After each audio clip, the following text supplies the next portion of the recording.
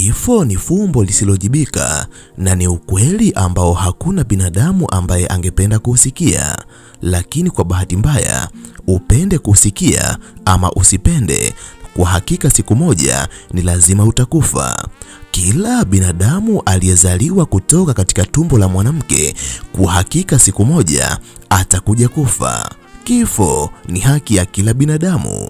Ndani ya ulimwengu ambao tunaishi mimi na wewe, kifo kimegawanyika katika makundi mawili. Wapo wanaokufa vifo vya haki na wapo wanaokufa vifo vya kudhulumiwa. Hawa wanaokufa vifo vya kudhulumiwa, unaweza ukadhani amekufa, lakini hajafa, amechukuliwa, amefanywa msukule. Ndani ya video hii nitakwenda kukwambia ni namna gani unaweza ukagundua kama ndugu, rafiki au jamaa yako kifo alichokufa si kifo cha haki, bali yupo hai, amechukuliwa, na yule mliyemzika mkidhani ni yeye, si yeye, bali ni gogo ama mgomba. Binadamu anapofariki zipo ishara ambazo huwa zinaonekana, na endapo utaziona ishara hizo, pigia mstari kuwa binadamu ambaye mnadhani amekufa hajafa, bali amechukuliwa. Kabla sijaenda kukueleza ishara hizo, fanya kitendo cha kiungwana kwa kusubscribe chaneli hii ya Fafanuo Media. Hapo utakuwa wa kwanza kupata video zetu pindi tunapoziweka kwenye chaneli hii. Hautajutia MB zako, maana mara zote tunajitahidi kuwa bora zaidi ya jana. Asante, enjoy. Zifuatazo ni ishara ambazo ukiziona baada ya kifo cha mtu, ujue mtu huyo hajafa bali amechukuliwa. Namba moja. Binadamu aliyechukuliwa kichawi. Ninyi mkadhani amekufa.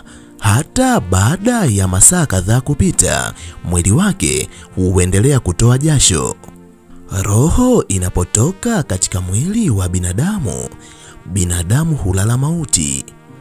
Baada ya binadamu kulala mauti, ndani ya mwili wake hakuna chochote kinachofanyika, mwili wote hupooza.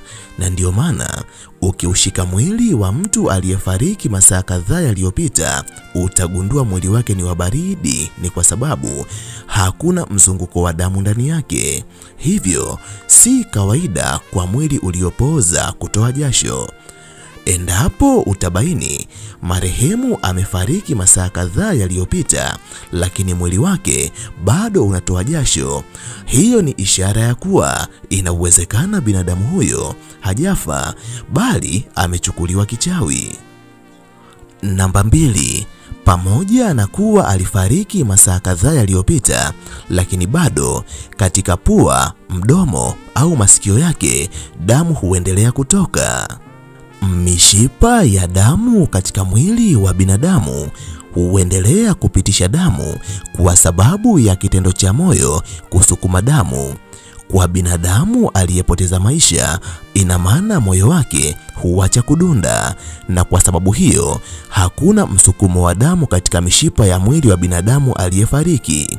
Lakini endapo damu itaendelea kutoka tena kwa msukumo, kama si masikioni basi puani, na kama si puani basi mdomoni, kuna uwezekano mkubwa binadamu huyo akawa hajafariki bali amechukuliwa kwa nguvu za kichawi. Namba tatu, macho ya binadamu aliyechukuliwa kichawi, huku ninyi mkidhani amekufa, huendelea kutoa machozi hata baada ya masaa kadhaa kupita tangu alipopoteza maisha. Kama nilivyoeleza, binadamu anapopoteza maisha, hakuna kitendo chochote kinachofanyika ndani ya mwili wake, wala hakuna mfumo wowote unaoendelea kufanya kazi katika mwili wake. Kitendo cha binadamu aliyefariki kuendelea kutoa machozi hata baada ya masaa kadhaa kupita tangu alipopoteza maisha, ni ishara ya kwamba inawezekana binadamu huyo hajafa kifo cha kawaida, hajafa kabisa, bali amechukuliwa. Na hapo kilichofanyika ni kiini macho, ninyi mnaona kama amefariki, lakini kiuhalisia ni kuwa hajafariki, bali amechukuliwa, kwani binadamu aliyepoteza maisha macho yake hayawezi kutoa machozi kwa sababu kila kitu katika mwili wake husimama, na hivyo kama angekuwa amefariki katika hali ya kawaida, yani kifo cha haki, basi macho yake yasingeweza kutoa machozi. Namba nne, ndani ya muda mfupi mwili wa marehemu huanza kutoa harufu ya kuoza tofauti na ilivyo kawaida. Binadamu anapofariki katika hali ya kawaida huwa unapita muda mrefu kabla ya mwili wake kuharibika, lakini binadamu aliyekufa kwa kuchukuliwa kichawi, inawezekana ndani ya masaa matatu au manne ukashangaa mwili wake unaanza kutoa harufu, ni kama mwili uliohifadhiwa siku tatu ama wiki nzima. Inawezekana wakati ninyi mnadhani mmemhifadhi marehemu ambaye ni ndugu yenu, lakini kumbe mmezibwa macho kwa njia za kishirikina. Huyo mliyemhifadhi si ndugu yenu, bali ni kiumbe mwingine. Anaweza akawa mnyama, hasa nguruwe, mbuzi ama mnyama wa aina yoyote ambaye wachawi humvisha taswira ya mtu ambaye ninyi mnadhani amekufa. Kwa sababu hiyo kiumbe ambaye ninyi mmemhifadhi katika nyumba yenu mkiamini ni mwili wa ndugu yenu huharibika haraka, tofauti na mwili wa binadamu, hivyo kujikuta akitoa harufu mbaya, na ninyi mkidhani mwili wa ndugu yenu umewahi kuharibika. Mkiona ishara hiyo ndani ya muda mfupi baada ya ndugu yenu kufariki, tilieni mashaka. Inawezekana ndugu yenu hajafariki bali amechukuliwa kichawi. Namba tano, vitendo vya kustajabisha vitafanywa na wanyama wa kufugwa karibia na eneo alilohifadhiwa marehemu. Binadamu anapofariki kwa kurogwa anakuwa hajafariki bali amechukuliwa. Itakapofika siku yake ya kufa, atakufa kwa mara nyingine, na hapo ndipo atakapokuwa amekufa kifo cha haki. Wakati mwingine binadamu anapochukuliwa kichawi na ninyi mkazani amefariki, mkawa mmeuhifadhi mwili wake, kuna wakati. Viumbe wa kawaida inawezekana akawa mbuzi, kuku, kondoo ama mbwa, ataonekana akitaka kuingia katika eneo ambalo mwili wa marehemu umehifadhiwa, ama akiwa karibu na ninyi wakati wote, na ninyi mtakuwa mnamfukuza mbwa, mbuzi, kondoo ama kuku, mkidhani amechanganyikiwa. Amini usiamini, mnyama atakapoonyesha ishara hii katika msiba wenu, inawezekana kabisa huyo ndiye ndugu yenu.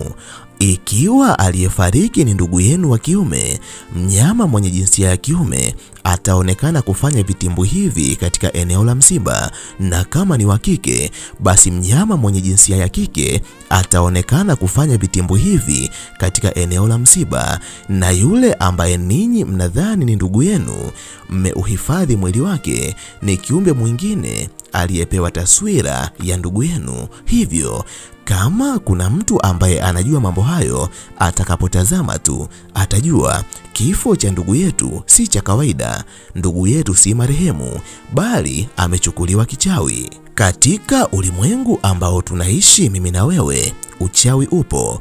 Ili uweze kujiepusha na uchawi, ni vema ukajiweka karibu na Mwenyezi Mungu kwa mujibu wa imani yako, kwa sababu uchawi hufanya kazi kwa watu wasiokuwa karibu na Mwenyezi Mungu.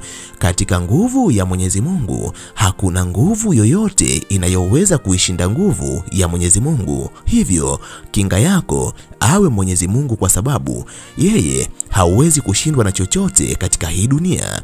Mimi kwa leo naomba niishie hapa. Ninahitimisha nikiamini lipo jambo kubwa ambalo umejifunza kupitia makala hii. ni kutakia wakati mwema. Asante, bye.